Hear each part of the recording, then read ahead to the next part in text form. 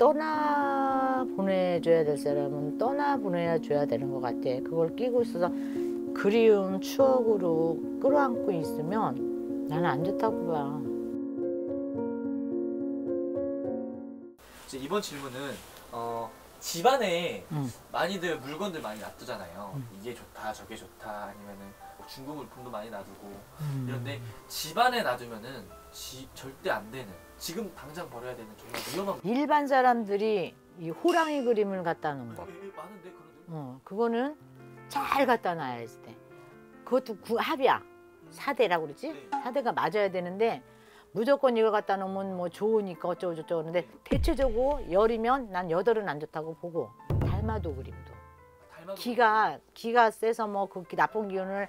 막아준다 어쩐다 그러는데 너무 기가 세기 때문에 어, 심약한 사람들한테는 그게 치명적이고 이왕 지사면 그런 거를 갖다 놓을 정도면 이런 미, 저 무속도 좀 믿을 거니까 물어보고 갖다 놨으면 좋겠고. 나는 우리 손님들한테 이제 몇 명한테는 안 맞는 사람들한테는 치우라고 그러거든. 그랬고 그다음에 이제 중고.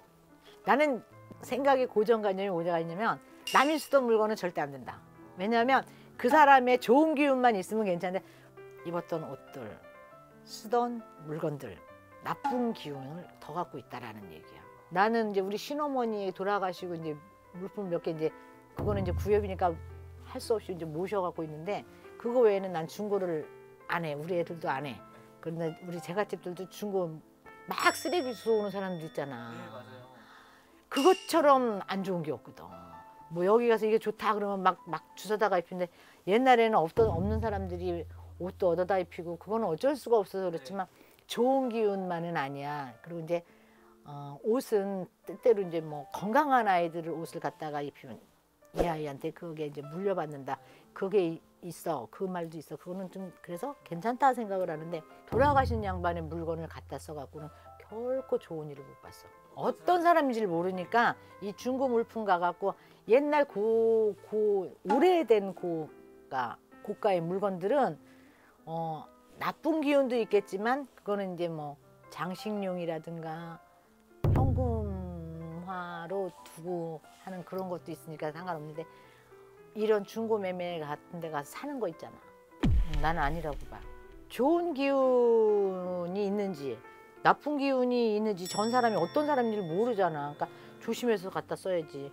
그리고 가, 정이 가져가려면 이제 뭐 예방책을 해놓고 가져가는 게 낫겠죠. 또 집안에도 많이들 놔두시는 게 뭐 선생님 말씀대로 돌아가신 분들을 중고 물품 사는 경우도 있지만 음. 내 가족 중에 돌아가신 분이 있으시면은 돌아가신 이후에 그 안타까운 보고 싶은 마음에 음. 그분들의 물건을 치우지 못하고 놔두는 경우가 굉장히 많잖아요. 그거는 좀 어떻게 보시는지. 나는 안 좋다고 봐. 나도 우리 할머니 물품을 지금까지도 이제 갖고 있는 게 있는데 떠나 보내줘야 될 사람은 떠나 보내야 줘야 되는 것 같아. 그걸 끼고 있어서 그리운 추억으로 끌어안고 있으면 가시는데 편치가 않을 것이고 오래 사시다가 편안하게 돌아가시는 양반들은 호상이라고 하는데 호상이 그렇게 많지는 않거든.